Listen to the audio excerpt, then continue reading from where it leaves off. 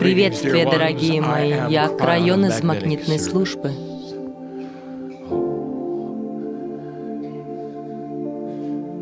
Энергия на сцене сегодня, сцене жизни. Прекрасные послания от Гай, такие глубокие, такие истинные, такие любящие. И будут те, кто будет говорить, что такое не может существовать. Ченнелинг по своей сути — странная вещь, действительно. Когда ты можешь открыть путь к Духу, который вы называете Богом, и будут те, кто будут разговаривать с вами таким образом.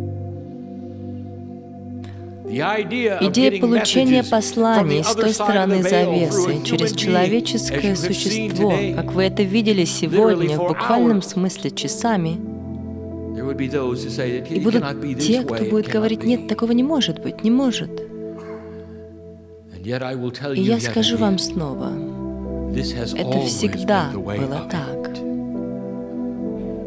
Все писания на вашей планете, все они были написаны человеческими существами, которые были под воздействием любви, говорили через канал Духа. Самые глубокие слова Бога, которые у вас есть, это были слова людей, переводящих Дух. Самые высокие религии на планете представляют это. Всегда есть способ соединиться. Итак, опять мы соединяемся. Вы здесь.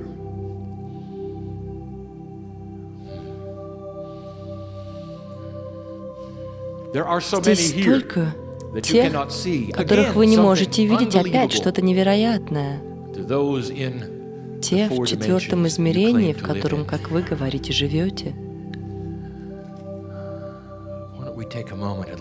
Почему бы вам на мгновение не позволить антуражу расположиться здесь? Это сладкое место. Сердцевинная группа здесь. О, ничего такого подобного еще не было. Здесь столько восхищения. Здесь так много. И они ждали так долго. И они все наполняют эту комнату опять, чтобы встретиться с вами лично. Этим утром мы предложили вам прочувствовать их. Этим утром мы сказали вам, что если вы можете сделать что-то для планеты и для них, так это хотя бы поверить в то, что это возможно —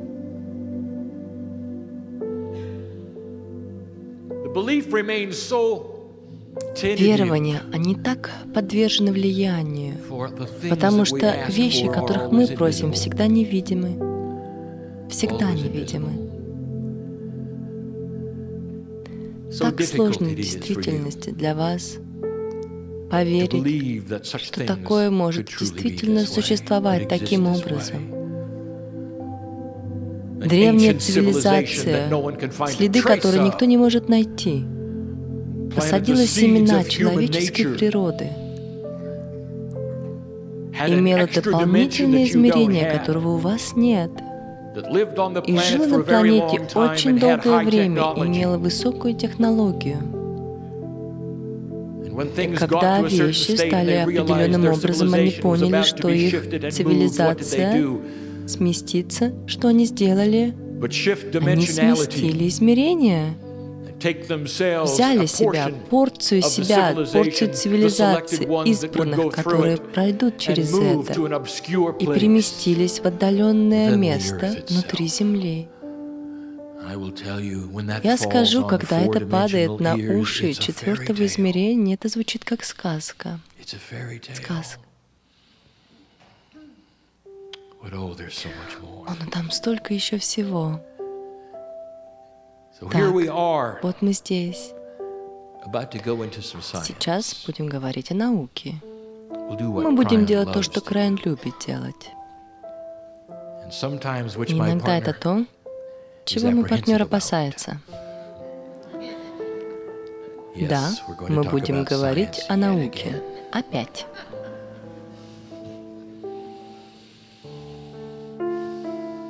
И прежде чем мы будем это делать, как бы нам сделать это? Можем ли мы метафорически снять крышу с этого места? И позволить небесам светиться над вами? Метафорически, таким образом, чтобы вы были открыты и чтобы вы видели звезды, так как они наполнены жизнью.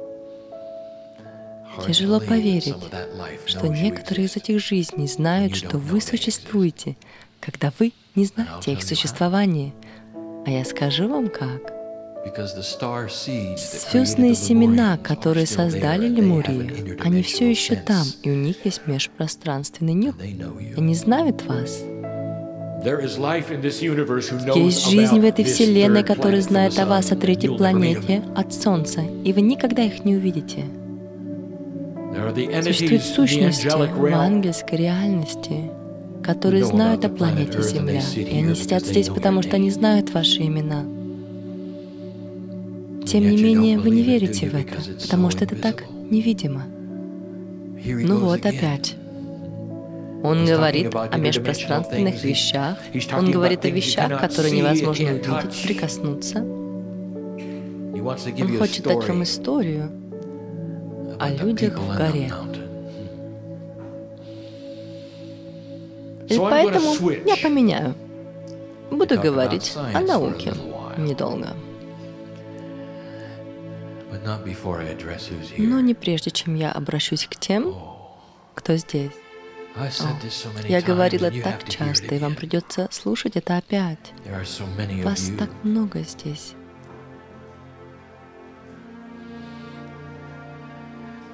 Мы разговаривали с вами по дороге. Когда вы наклонялись в свете рождения, мы были там. Сколько из вас интересуется, в чем же смысл жизни? Сколько из вас говорили Богу, я уверен, что есть причина в жизни, но я не знаю, в чем она.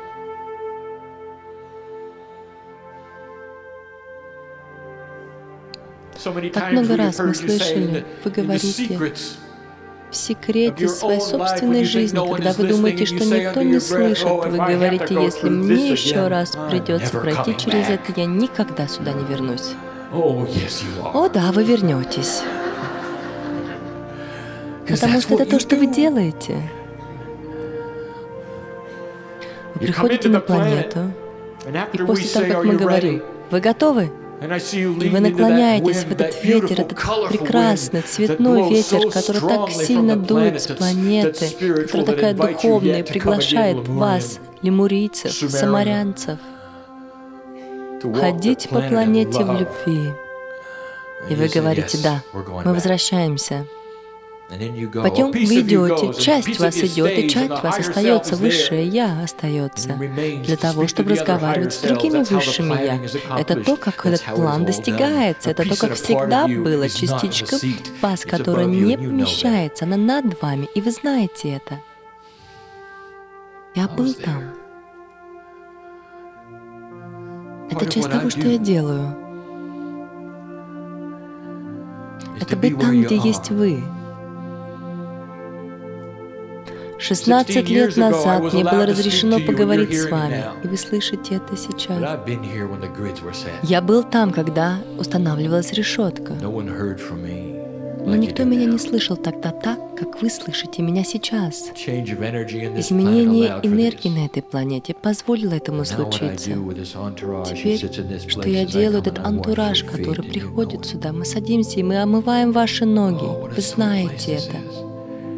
Братья и сестры, я знаю ваши имена. Мы пили это в свете так много раз. Но это все так невидимо для вас. Так невидимо.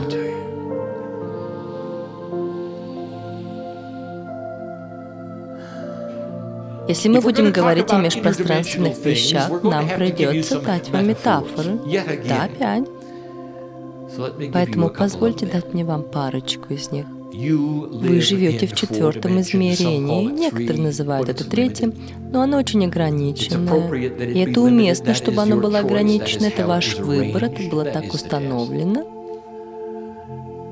И трудность заключается в том, чтобы увидеть, сможете ли вы раскопать в этом человеческой натуре, в этой биологии, как вы называете, и вы думаете, это четвертое измерение, и найти межпространственную искорку, которая позволит столькому развернуться и произойти.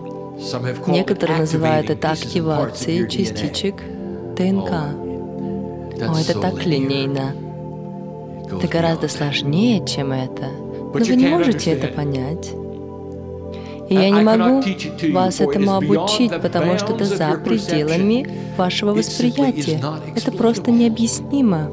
Но я могу дать вам метафору того, как необъяснимо это. И я это сделаю опять. На момент вообразите, что вы приземлились на планету, где все, кто там есть, видят в черно-белых красках. Это их эволюция, и она хорошо им служит. Они видят миллионы оттенков серого. И они любят это, это прекрасно для них. И они не могут вообразить ничего другого. Миллионы, миллионы оттенков серого, от белого-белого к черному к черному. И они ходят в лесу, они могут видеть вот этот определенный серый или вот этот серый. Как красиво. Они так любят природу. И это то, что их эволюция им дала. Это глубоко для них, у них другие глаза, нежели чем ваши. И вот вы приземляетесь на планету, и ваша работа — рассказать им все о цвете.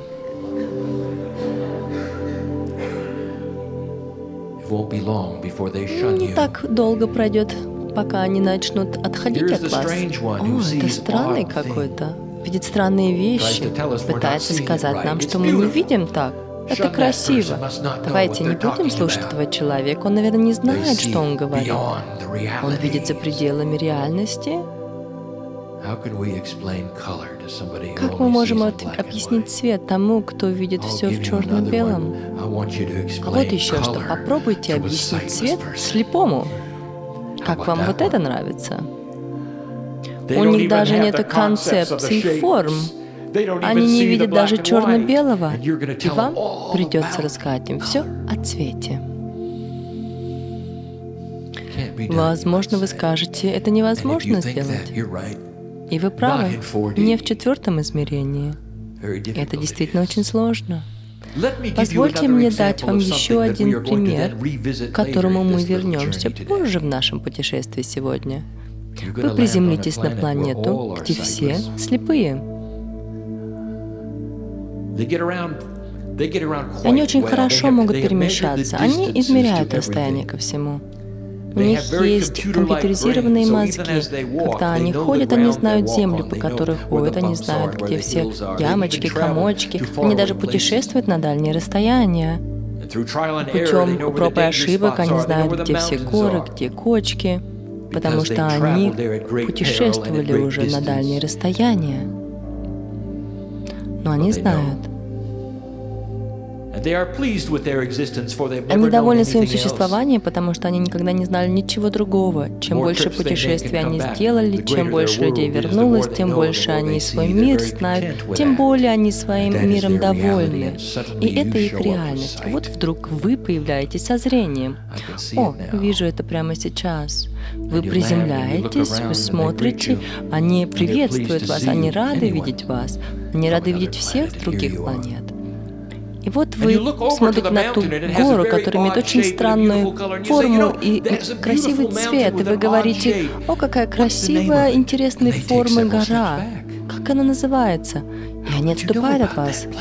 Как ты знаешь об этом месте? Ты там не был. У нас ушло несколько лет расследовать это. Мы уже потеряли 18 людей, чтобы раскрыть это. Нам надо было знать, где, э, где обрывы, где реки, где кочки, ямки. Мы должны были знать, где это все. А ты знаешь, где это, не совершая самого путешествия? И они отступают от вас. Ты отличаешься от них. Некоторые думают, что ты искусственный. Как это ты мог знать? Ты никогда там не был. Ты не мог знать, ты не потратил на это время, ты не можешь знать. Итак, я вам только что описал разницу между вами и лемурийцем. И через минуту мы подойдем к этому подробнее. Объект этого урока — попытаться дать вам науку, которая невидима, метафоры, которые попытаются объяснить, каково это на самом деле.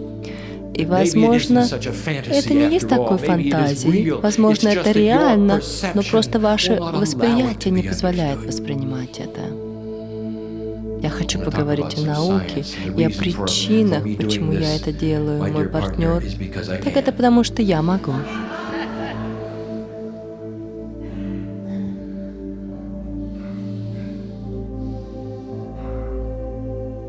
Я дам вам восприятие, которое можно подумать. Два объекта на столе. Мне все равно какие. Два объекта на столе. Что вы видите? И вы увидите, и вы скажете, вот я вижу один объект, между ними расстояние, другой объект и стол. А вот информация, которую мы вам сейчас дадим. Нет такого понятия, как расстояние между ними. Они все существуют в постоянном, меняющейся целостности и продолжительности. Если бы у вас были межпространственные очки, вы могли их одеть, вы бы не увидели два объекта и стол. Вы бы увидели процесс. И внутри этого процесса цвета вы сказали вам, где разница в энергии, а в четвертом измерении вы видите это объектами, но в межпространственности бы было видно только процесс. Я не могу объяснить этого, кроме того, что эти межпространственные очки дали бы вам очень драматическое понятие того, что нет такого понятия, как расстояние между объектами.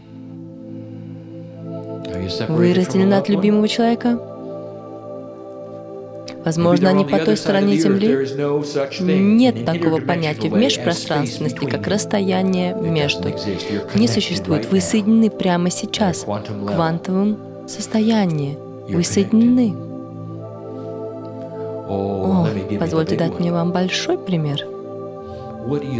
Как вы думаете, что отсоединяет вас и тех, кого вы любите и кого вы потеряли недавно? Слушайте, я разговариваю с вами. Что вы думаете разделяет вас? Пространство, смерть? Позвольте сказать вам истину. Нету расстояния между вами, нету времени между вами, в межпространственности нету расстояния. И жизнь, она вечна. Ваше восприятие жизни, человеческой жизни, как будто бы это и все. И знаете, что это смешно, лемуриц? И вы знаете это. И вот опять. Вы здесь, но вы этого не видите. Нету расстояния между теми, кого вы любили и потеряли. Нету вообще.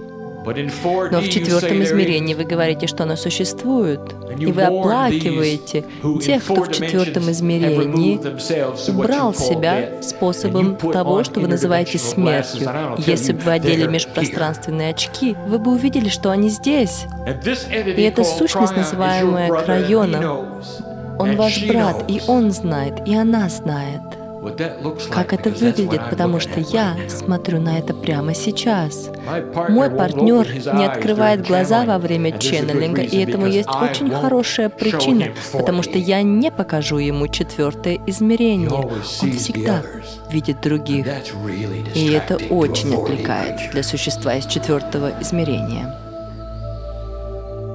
И они здесь. Итак, подумайте над этим. Аудитория наполнен человеческими существами в креслах. И каким-то образом, каким-то способом тысяча лемурийцев сидит здесь из горы вот там. И каким-то образом здесь присутствует антураж ангелов из другой стороны завесы которые пришли с района. Каким-то образом антураж от каждого из вас также здесь, и вы говорите, так где же они все сядут? Как насчет кончика моего пальца? И вы не поймете это, правда? Как насчет кончика моего пальца, потому что они все поместятся здесь?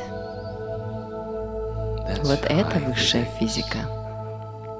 Это возможно, знаете, межпространственность, форма, время, расстояние. Они не как у вас. Итак, мы переходим к предметам науки, которые мне очень интересны, гораздо менее интересны моему партнеру.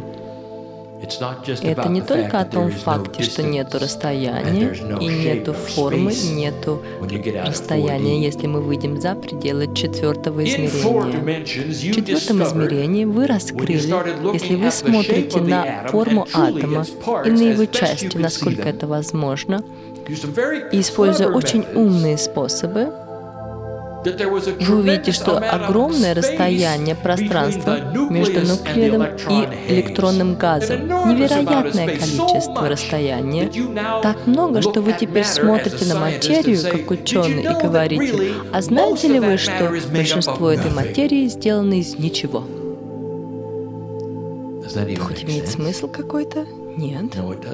Оденьте ваши межпространственные очки, и я вам скажу, что не существует пространства между нуклеидом и электронным газом. Существует процесс.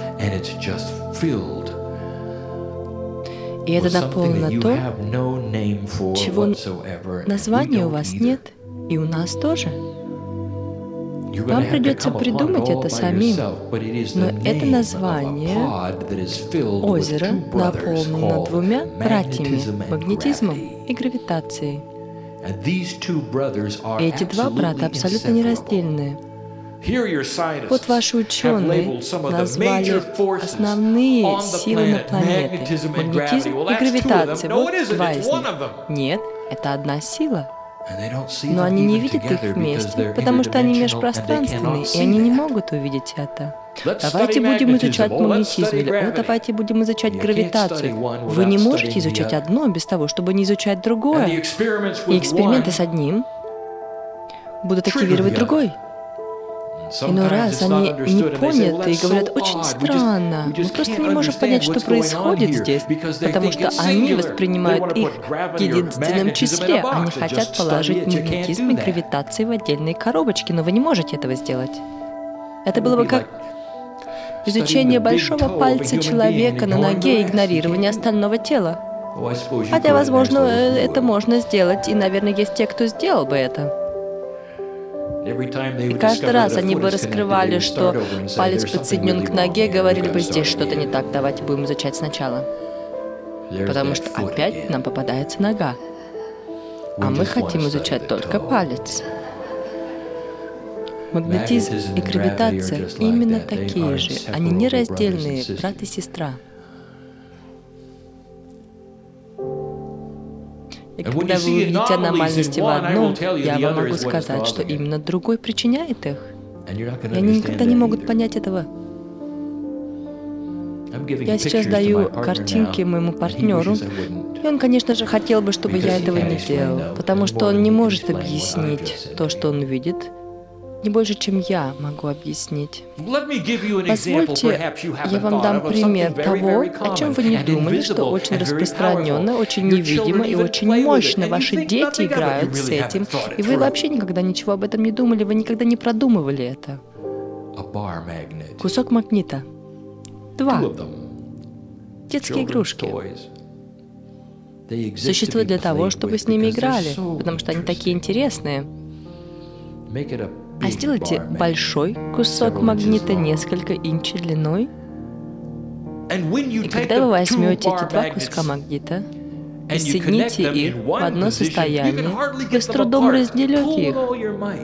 А когда они соединены вместе, их почти невозможно разорвать. В другом положении они отталкиваются друг от друга, и вы не можете соединить их вместе, как тяжело бы вы ни старались.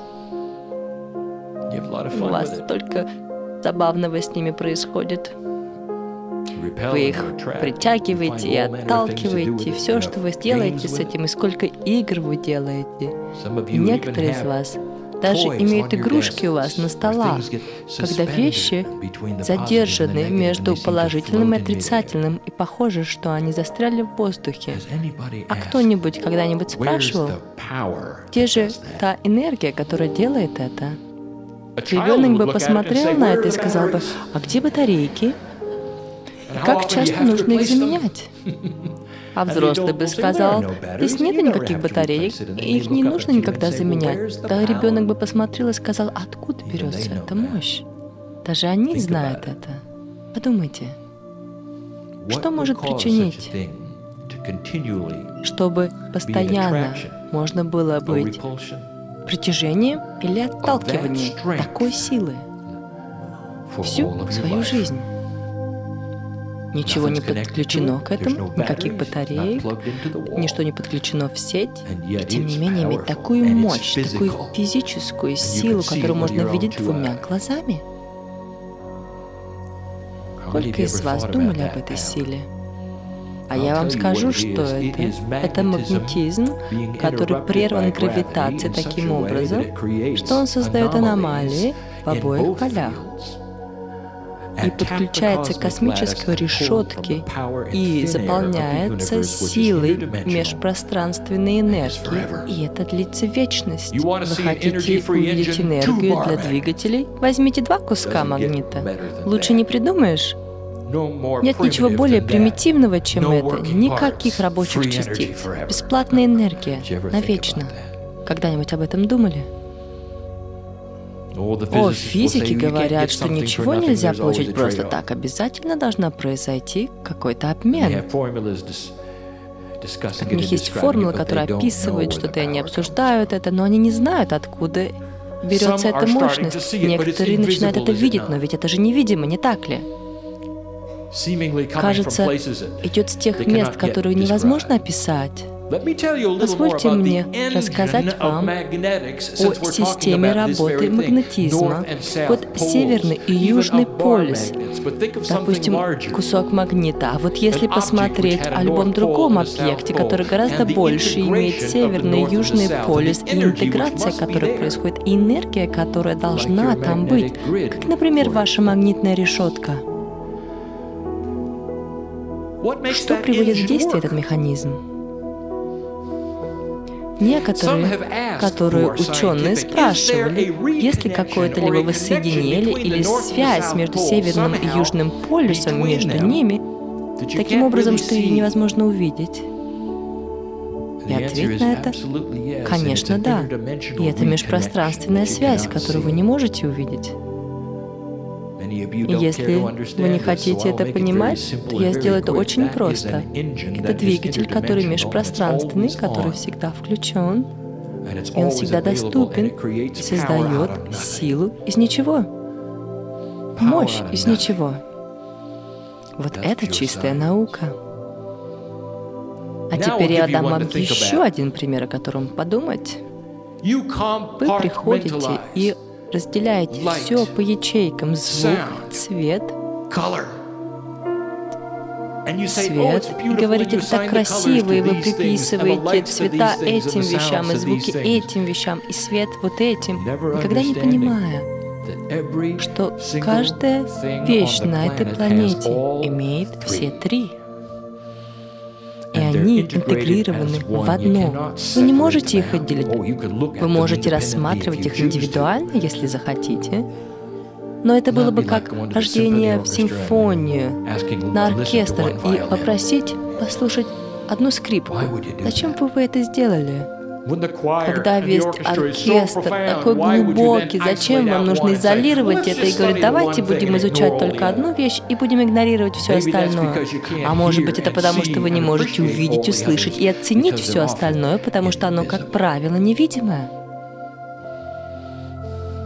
Район, ты что говоришь мне? Что обычные вещи будут иметь в них свет? Вам предстоит еще это открыть. Когда вы это сделаете, будет такой шум. Это волнение будет такое, что мы на самом деле не понимаем материю вообще. Вы найдете свет в материи. Свет существует в материи. Да, он может быть очень тонкий, но он там есть. Мы бросаем вызов вашим ученым. найти это. Любую камеру. Вы можете положить любой объект, разделить их, разрезать их, как, например, камень и проверить ультрачувствительным оборудованием.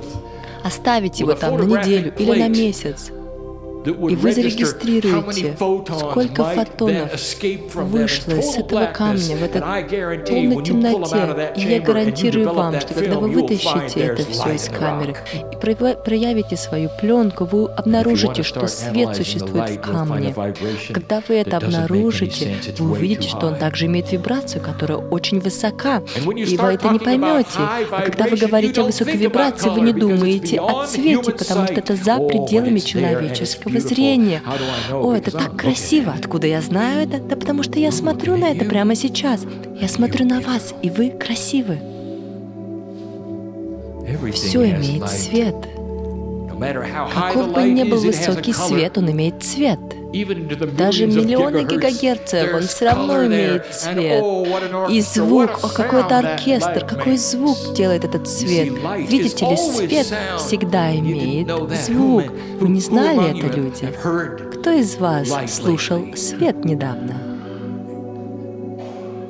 Сомневались ли бы вы, если бы я сказал, я говорю, что ваши ученые докажут, что ДНК поет, Инструменты покажут, что ДНК поет, и вы будете говорить, ух, а это похоже что-то на то, что Крайон нам сказал. Да. Но не ждите их, чтобы они подтвердили это вам. Почему бы вам не поверить в это прямо сейчас? Я говорю вам вещи, которые сейчас, в эту минуту, так близки к раскрытию. Итак, мы говорим о вещах, которые настоящие, которые в четвертом измерении, когда вы можете видеть межпространственную деятельность, как магнетизм и гравитация, свет, звук и цвет. И это все приводит нас к лемурийцам.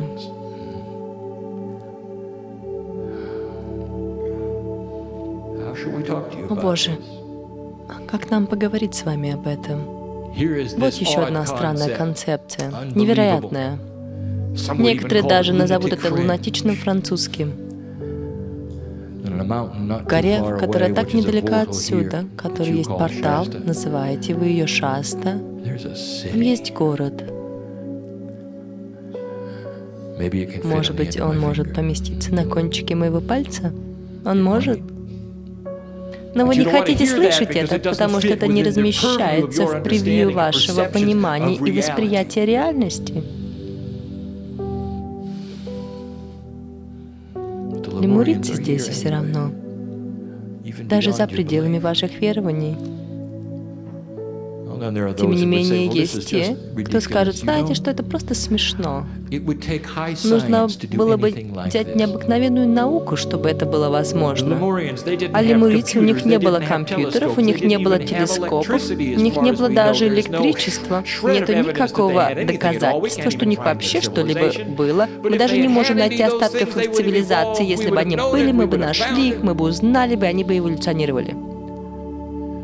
Позвольте мне вас привести на планету с теми слепыми людьми. И вот вы возвращаетесь туда после тысячи лет. Из тысячи лет у них прошла эволюция, и вы вернулись. И вот они эволюционировали. И теперь каждый из них носит аппаратик на голове. Это как маленький э, радар, который позволяет им видеть, что перед ними, сканируя как радар. У них нет зрения, у них нет цвета, у них нет черного и белого, но они знают, что перед ними. И они очень обрадованы своей технологией. Это высшая технология. У них есть компьютер, у них есть электричество, у них есть способ иметь все эти вещи. И вот они одевают этот аппаратик себе на глаза и такие довольные своей технологией. И вот вы появляетесь опять. И вы говорите, это очень интересная гора там, какой красивый у нее цвет. А они говорят, а, как ты можешь это делать? У тебя же нет аппаратика. А вы говорите, да, но у меня есть зрение. А они говорят, а мы не знаем, что это такое. И очень скоро они отходят от вас. Вы слишком отличаетесь.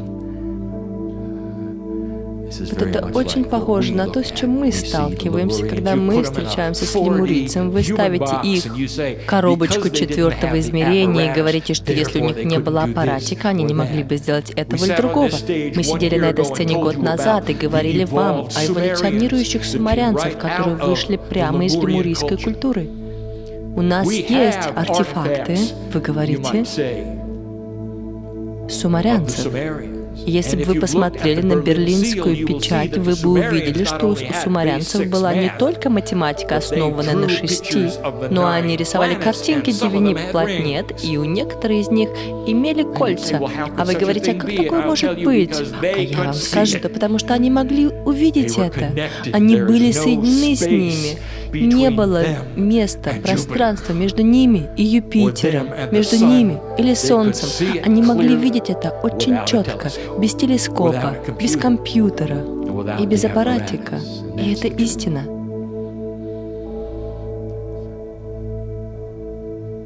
И вы, возможно, скажете, Крайон, даже если бы они могли делать это, сколько тысяч лет уже прошло? 50 тысяч лет назад они бы уже давно умерли. Как это может так работать? И опять мы говорим, это ваше восприятие четвертого измерения. То, что вы делаете, вы стареете и умираете. Ой, еще столько неактивированного ДНК у вас. Этот лемурийский слой, номер семь, о котором мы говорили вам в прошлом году, вы даже не прикоснулись к нему. Многие из вас только-только раскрывают номер шесть слой, слой общения. У лемурийцев была целый ряд этих слоев активирован. Это было так глубоко, что они могли делать. Так как они могут жить так долго? А я хочу дать вам пример четвертого измерения вечной жизни. Как пример того, что вы не цените еще,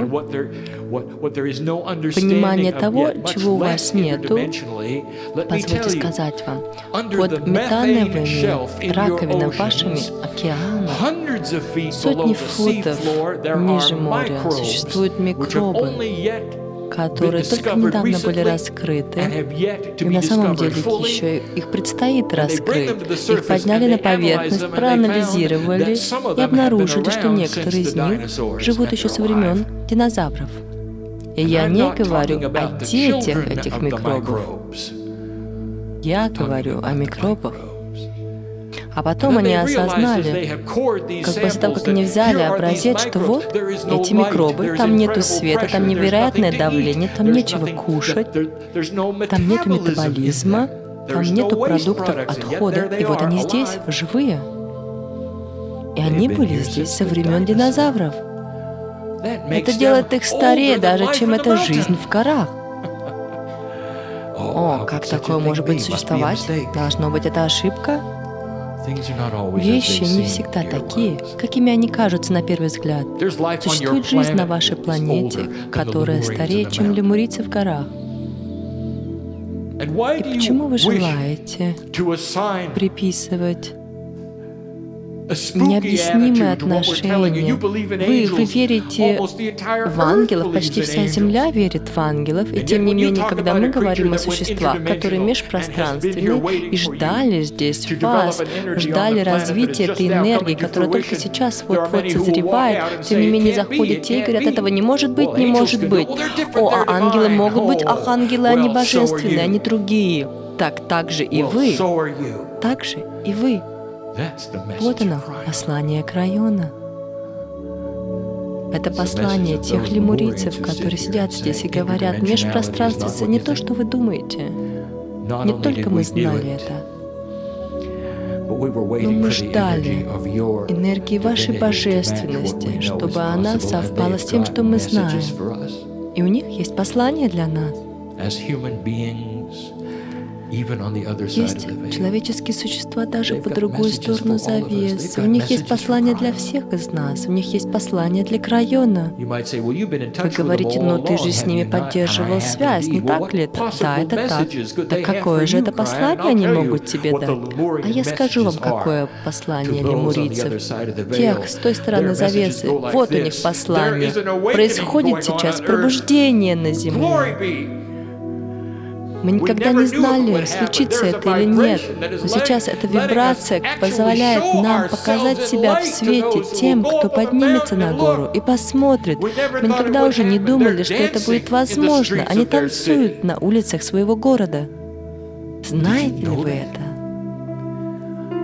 Сколько лет они ждали, чтобы люди пришли в эту комнату и пригласили их, и поверили, что они там. У них есть послание для вас. Мы слышим, как они поощряют вас. А что вы слышите, они делают? О, Крайон, я вообще-то ничего не слышу. Так давайте прислушиваться больше. Невероятное невидимое, вы говорите. Вы во столько всего верите, во столько невидимое верите, вы кладете все это по коробочкам, вот это ангел, это можно, а лемурийцы в, голове, в горе нет. Может быть, это время, чтобы начать думать по-другому? У меня еще есть вам две вещи, которые я должен рассказать. И это следующее. Вы не поверите в это. Мы дадим вам атрибуты ДНК, о которых мы только недавно говорили немножко, но сейчас время о том, чтобы рассказать об этом поподробнее, таким образом, он будет говорить опять необыкновенные и невероятные вещи. Итак, я уже сразу приступаю к этому тогда. И это описание атрибута человеческого сознания, которое я сейчас пытаюсь показать моему партнеру. И он не развивает эту метафору вместе со мной, потому что это сложно. Итак, давайте попробуем. Человеческое сознание имеет атрибут божественности, который встроен в ДНК. И одно из этих атрибутов, в который вы не верите, и вы не можете это видеть, потому что было бы это для вас очень странно и невероятно, Куда бы вы ни ходили, остается след, который вы оставляете в зависимости от количества энергии, которая была развита. Мы говорили это раньше. Там, где вы ходите, Гая знает вас. Мы говорили раньше, что вы всегда оставляете что-то ваше, что-то больше вас. Вы оставляете отпечатки на энергии вокруг. Что бы это ни было, еще долго после того, как вы уйдете, она остается там. Просто быть человеческим существом и ходить с одного места в другое оставляет отпечаток по всему. То, что вы называете межпространственные вещи, да даже вещи вашего измерения, поддаются этому влиянию. Это способность есть у всего человечества. Но она особенно сильна в тех, которые прикасаются к своей собственной божественности и начинают пробуждаться, потому что ДНК отвечает, и энергия растет, когда ты взываешь к божественности. То, что мы говорим вам, что у вас, как у человеческого существа, есть сознание, поддерживаемое вашим ДНК, и оно оставляет отпечаток на энергии, и это там остается. И это глубоко. Это объясняет многие вещи. Это объясняет силу молитвы. Это объясняет привидение. Подумайте об этом. Энергия, которая остается за вами, от человеческого сознания, который идет через процесс. Вы говорите, знаете, что это звучит как темная энергия? Да зовите это как хотите. Это просто энергия, нет никакого суждения о ее ценности. Но в действительности мы говорим вам, что если вы хотите приписывать темное и светлое, то темное всегда будет проигрывать, потому что божественный свет, который вы несете в себе, гораздо сильнее, и он останется гораздо дольше. Этот процесс никто из вас даже не знает о существовании этого. Формирует вибрации Гаи. Когда человечество решило вибрировать выше, когда оно передумало, то все изменилось, даже сама Земля. Гая ответила вам. Гая влюблена в вас. Слышали ли вы это сегодня? Почувствовали ли вы это сегодня? Это было принесено для вас с целью женщиной, человеком, матерью, И это не случайно. Почувствовали ли вы сладость Гаи? О, это не такое послание, как от магнитного мастера. Даже несмотря на то, что я говорил вам, что во мне есть женская энергия, но кто из вас хочет поверить в это? Но Гая, она действительно мать, которая отвечает ребенку, называемому человеческое сознание. И кто поверит в такое?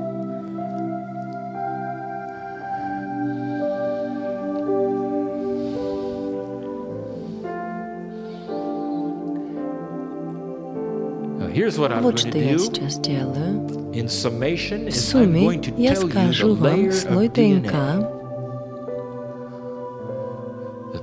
который больше всего использовали лемурийцы. И даже после того, когда я вам расскажу об этом, вы не поймете это. Но мы это сделаем, потому что мы можем. Потому что для некоторых из вас эзотерика так интересна.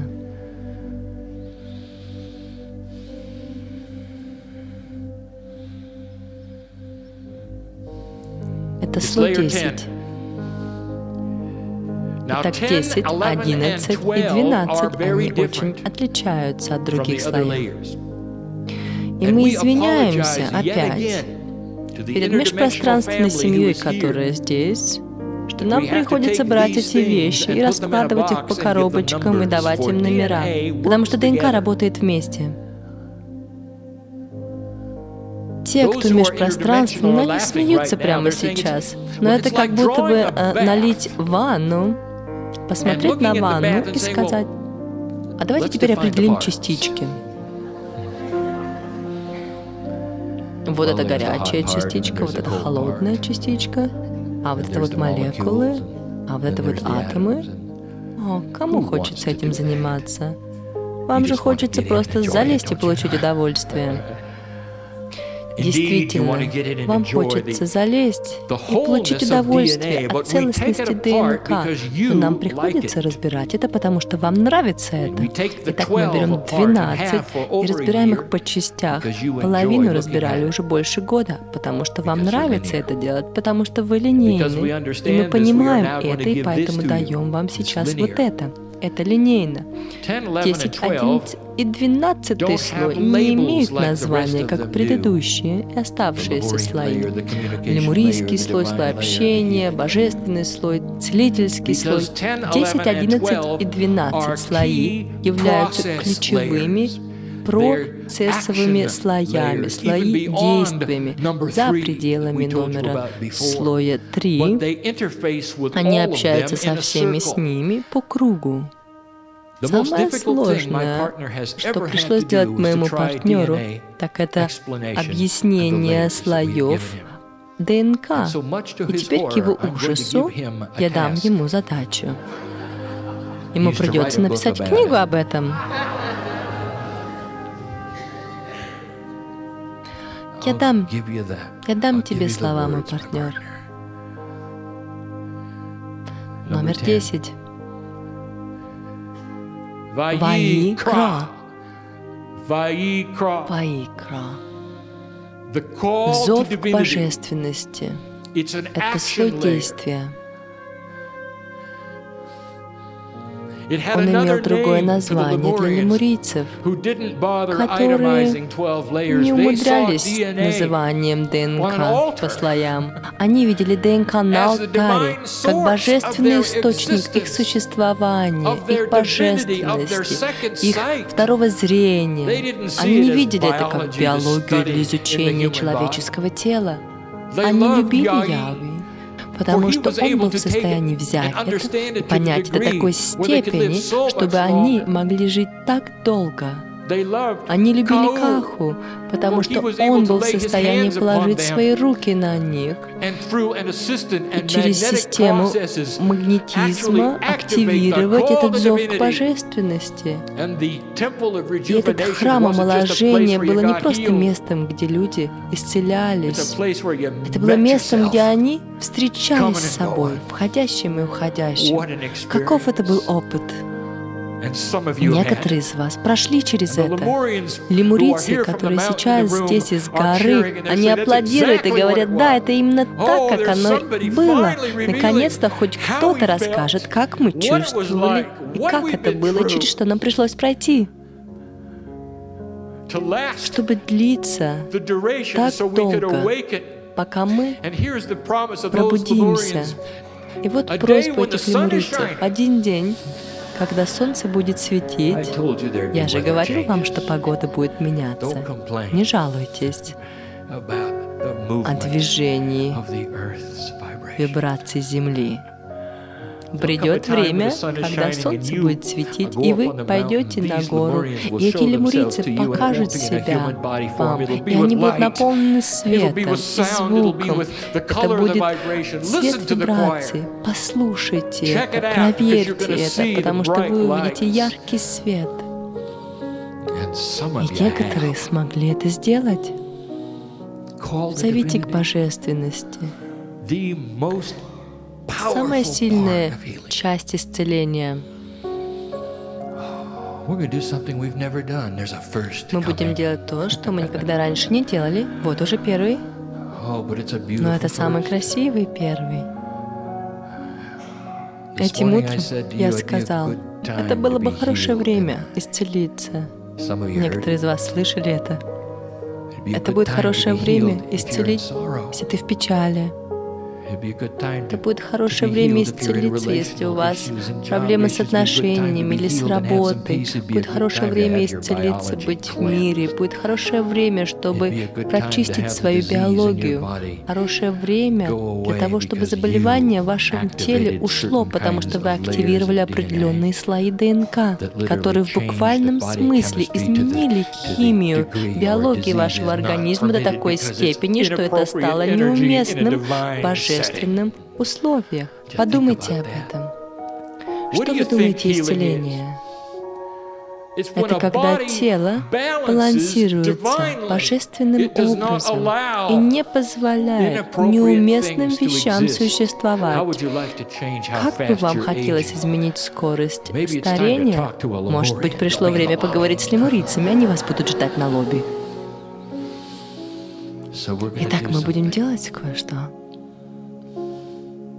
Некоторые из вас пришли, чтобы посмотреть и получить удовольствие. Дорогие мои, это так уместно, и мы вас так любим. Для тех, кто смотрит, для тех, кто получает удовольствие, вы поддерживаете. Вы маяки века. Вы те, кто создадет мир на земле. А также были те, у которых было много неприятностей. Они пришли и говорят, надеюсь, что я смогу быть другим, надеюсь, что я уйду другой. И, возможно, это ты. И я попрошу тебя, а ты серьезно надеешься сидеть там? Ты...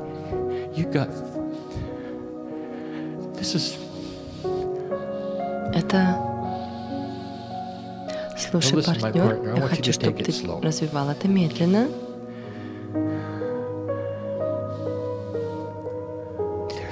Никогда раньше не было такой возможности. 16 лет ты позволял этому голосу проходить через этого человека. И мы готовы для чудес, аудиенции. Это никогда не случалось таким образом. У нас никогда не было Яви и Каху вместе. У нас не было энергии лемурийцев таким образом. И в этот год все изменилось.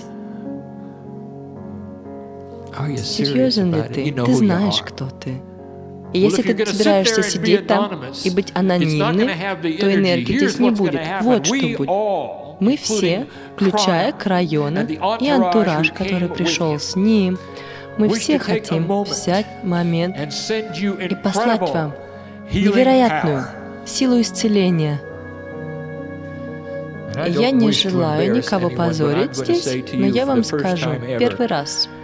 Если вы серьезны об изменении своей жизни прямо сейчас и о получении исцеления в этой комнате в следующие два дня, я попрошу вас встать. Встаньте.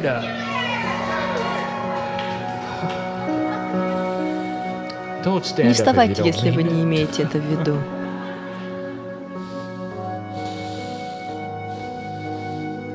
Хорошо. А теперь позвольте нам сообщить вам, Каху, ты знаешь, что делать. Яви, ты знаешь, что делать. И антураж, который здесь, знает, что делать, потому что они просили именно этого. Или мурицы в горах поощряют и стоят и говорят, наконец-то, вот оно, обязательство. Здесь и вера здесь. И вот сидите там и чувствуете это давление и плотность духа тех, кто в горах, тех братьев и сестер, которые нажимают на вас и знают, через что вы проходите. Они знают, что течет по вашим венам. Позвольте вашему телу и ногам быть омытым с головы до ног. Позвольте этому быть началом. процесса исцеления, который придет в этот уикенд, и вы уйдете другими, нежели чем пришли. И вот уже шесть из вас, восемь, четырнадцать. Держись, партнер. Ты никогда не видел этого раньше. Можете ли вы слышать, как мы поощряем вас, ликуем? Слышите ли вы звук этого оркестра? Если вы можете, это ваша ДНК начинает балансировать своим божественным способом. Пришло время, чтобы ваши печали ушли. Так жалко, что вам пришлось иметь их так долго. Некоторые из вас могут отложить тот груз, который вы носили так долго, потому что мы омываем вас. Просто стойте там, почувствуйте этот ветер, почувствуйте прикосновение, то, что происходит. Некоторые из вас могут почувствовать запахи различные и прикосновения.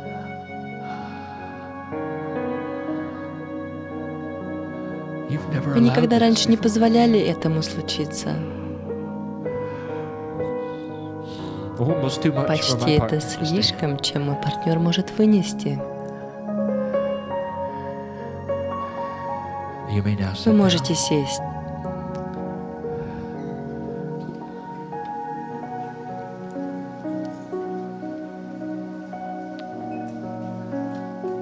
Благословен человек, который понимает то, что сейчас произошло.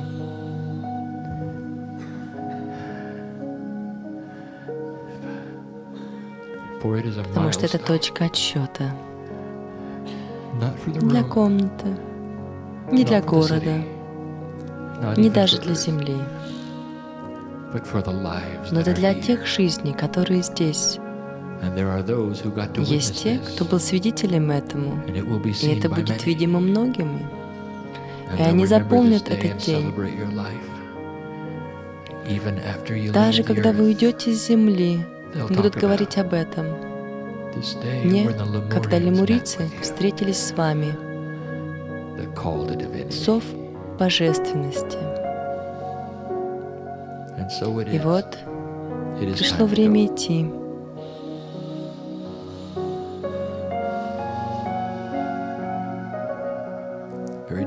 Это действительно очень сложно оставить это место.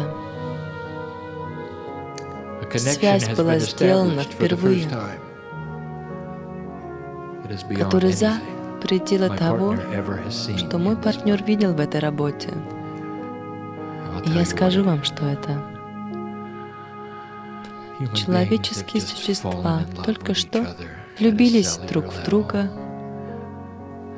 на клеточном уровне.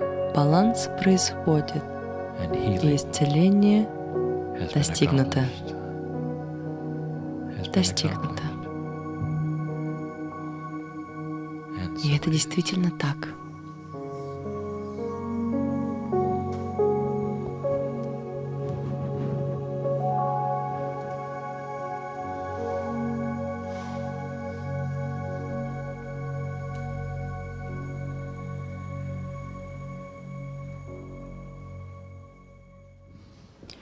Мы благодарим за удовольствие и радость вашей компании. Спокойной ночи. Возвращайтесь, готовые для яркого, бриллиантового, радостного, наполненного сердцем дня завтра. Спокойной ночи.